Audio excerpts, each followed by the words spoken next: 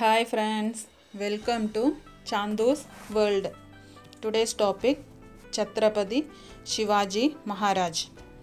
Chhatrapati Shivaji Maharaj is the founder of Maratha dynasty and a warrior king of Maharashtra.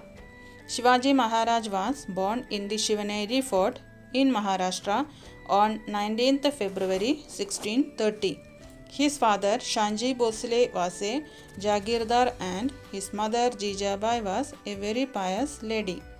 Jijabai was very particular about giving excellent education to Shivaji.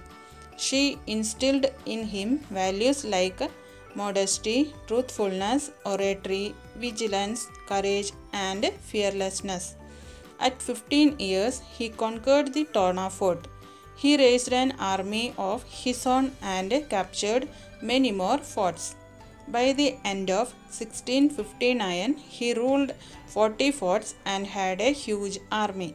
Shivaji was crowned as the Maratha king in 1674 and took the title of Chhatrapati Shivaji.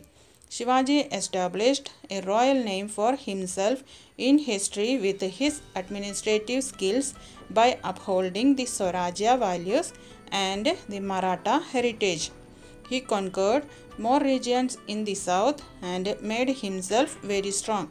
He built new forts and gave grants to merchants and poor people. He was a kind and able ruler.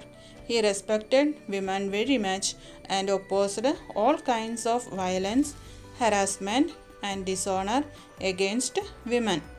He fought for the Hindus against the Mughal rulers. Shivaji was the first to realize the importance of having a naval force and known as the father of Indian Navy. He was also called the Mountain Rat and was widely known for his guerrilla warfare tactics. Shivaji Maharaj is a great hero of history. He ruled many more years and died on 3rd April 1680. Chhatrapati Shivaji was one of the bravest, most progressive, and sensible rulers of India. His birth date, 19th February, is celebrated as Shiva Jayanti with great rigor and a traditional style by Maharashtrians. Thank you. Don't forget to like, share, and subscribe.